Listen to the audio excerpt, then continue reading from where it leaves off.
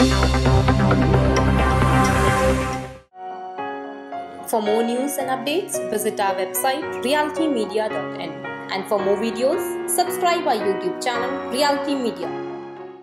50 लाख से कम के टेंडर अब जारी नहीं होंगे ग्रेटर नोएडा प्राधिकरण ने 50 लाख से नीचे के टेंडर जारी नहीं करने का फैसला लिया है इस पर अधिकारियों का कहना है कि छोटे छोटे टेंडर जारी करने पर उनकी अलग अलग फ़ाइल तैयार करनी पड़ती है। साथ ही उनकी अलग देखरेख भी करनी पड़ती है। उस पर नियंत्रण रखना काफ़ी मुश्किल है। इस सब में काफ़ी समय और पैसा बर्बाद होता है। फैसले की जानकारी मिलने पर छोटे ठेकेदार काफ़ी परेशान हैं। बुधवार को इस संबंध में अफसरों से बात करने 30 से 40 ठेकेदार प्राधिकरण कार्यालय पहुँचे।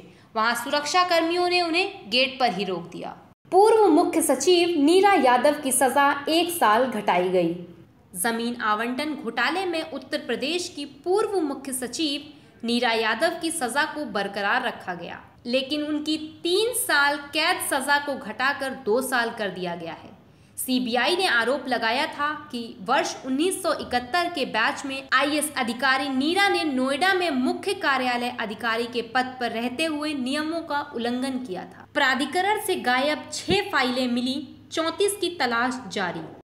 यमुना प्राधिकरण में संपत्ति विभाग की 40 फाइलें गायब हैं। बुधवार को इनमें से छह फाइलें मिल गईं।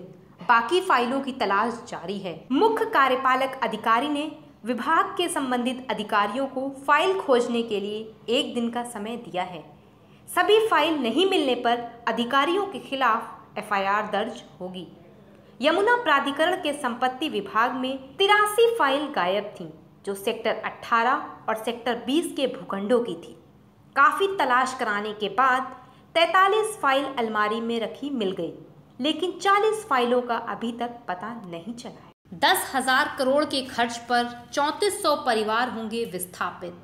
जेवर एयरपोर्ट के लिए ज़मीन का अधिग्रहण एक महीने में शुरू हो जाएगा। इसके लिए एक हफ़्ते के अंदर अधिग्रहण करने वाली टीम के अधिकारियों की तैनाती हो जाएगी। पहले चरण में 1250 हेक्टेयर ज़मीन का अधिग्रहण होगा। साथ ही आठ गाँवों को विस्थापित किया जाएगा। मुख्य कार्यपालक अधिकारी डॉक्टर अरवीर सिंह ने बताया कि जेवर एयरपोर्ट 3000 हेक्टेयर ज़मीन पर बनेगा। इसके लिए ज़मीन का अधिग्रहण दो चरण में होगा। पहले चरण में 1250 हेक्टेयर ज़मीन का विकसित किया जाएगा। ज़मीन का अधिग्रहण एक महीने के अंदर शुरू हो जाएगा। निर्माण में देरी की तो बिल्डर को भरना पड़ेगा विलंब शुल्क। Real estate regulatory authority RERA के तहत पंजीकरण कराने वाले बिल्डर अब प्रशासन व निवेशकों की रडार पर रहेंगे। तय समय पर निर्माण पूरा नहीं होने पर बिल्डर को विलंब शुल्क यानी लेट फाइन देना होगा। बिल्डर को यह जुर्माना उसी ब्याज दर पर देना होगा जो ब्याज दर उपभोक्ताओं से मासिक किस्त वसूलते समय लिया जाता है। यदि बिल्डर ऐसा नहीं करता है तो रेरा के तहत उस पर सख्त कार्रवाई की जाएगी। For more news and updates, visit our website realitymedia.in. And for more videos, subscribe our YouTube channel Reality Media.